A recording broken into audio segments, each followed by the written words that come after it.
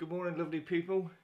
Here we are, Tuesday morning, and uh, yeah, still recovering from the healing weekend. A fabulous time, and uh, but back to normality now and getting on with it.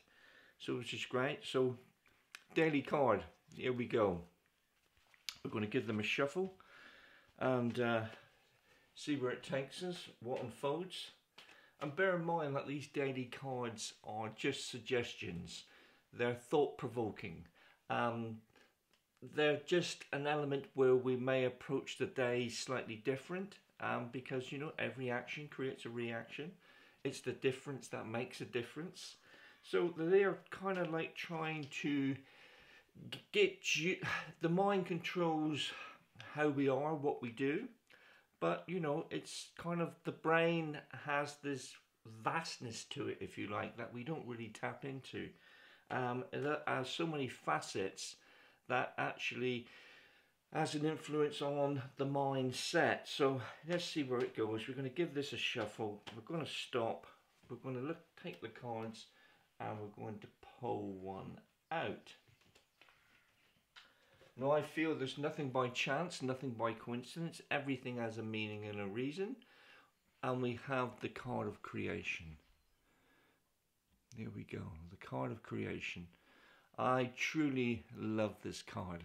The original painting is probably as tall as me and maybe about three foot wide. And, and it represents, and we have this blanket of colour. Uh, and we have this, which I felt is something like a, a Mohican Indian um, wrapped in this blanket. Uh, and it's creation. What an interesting element. Creation is, is an action, it's a doer. You know, whether I'm painting a picture or whether I'm making a cake, it's actually taking the ingredients of the paints or the ingredients for the cake and actually putting something together and actually creating something that for myself or for everyone. So the creative energy is a really wonderful, wonderful influence in our lives. And, and it's what we do with that. But it's very much about action. It doesn't talk. It's there to bring about. It's there to create. The word create. And um, but the interesting thing about it, you know, I do believe that we all have the creative flair in one form or another. There's a hundred different ways to create. And we all have that, but it takes action. And you know, this this element of rolling up one's sleeves and doing it, getting on with it, making something, don't talk about it no more. Actually make those physical steps and bringing it about. But there's three forms to this card. There's four, three forms to the creative energy. One of them is the creative flair, whichever way that may be. The other one's to think about is creating me. The the the you know this is something that we truly own. It's it's it's one. It's ourself. It really is that element. No one can take this away. But a lot of people struggle with the self, with the element of, of you know who and what we are. And really we we got to try to overcome that struggle of, of what we are, who we are, whatever that represents you know, because we all have that, whether it's emotional, physical, spiritual, those struggles are with everyone just in different ways.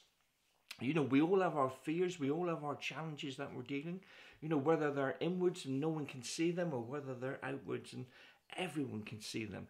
We all have them in some form.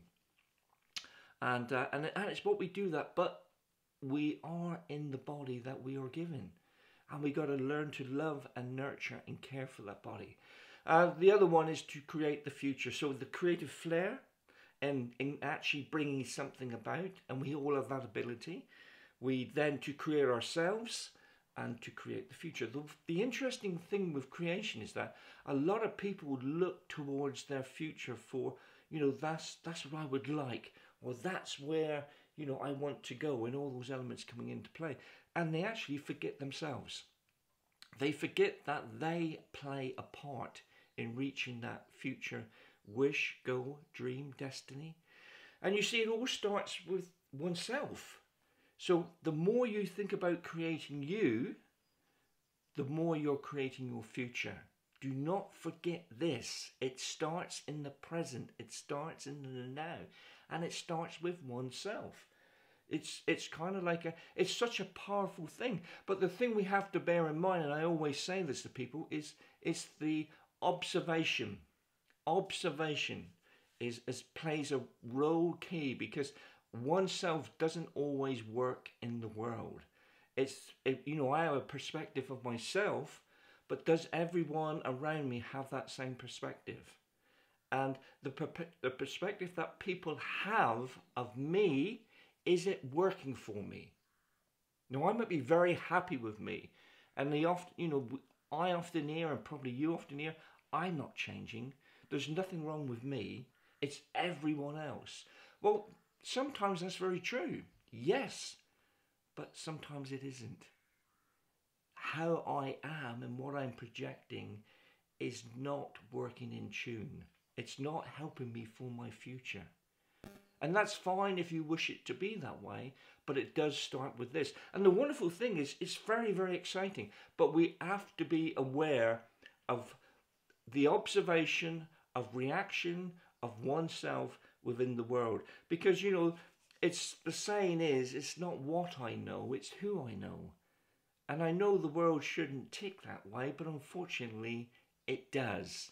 So, you know, it's what I attract to me that opens doorways or even closes doors because we all know that, you know, the people that we meet can, they can take and they can give. And unfortunately, there is quite a lot of takers out there within the world. Um, but there's also some beautiful givers. We just have to monitor that. So the card of creation is a wonderful, wonderful energy. It's the ability to bring something about and to make something happen. And it's the color black. Now, black holds everything. All colours are in there. The same is within each and every one of us, there is so much.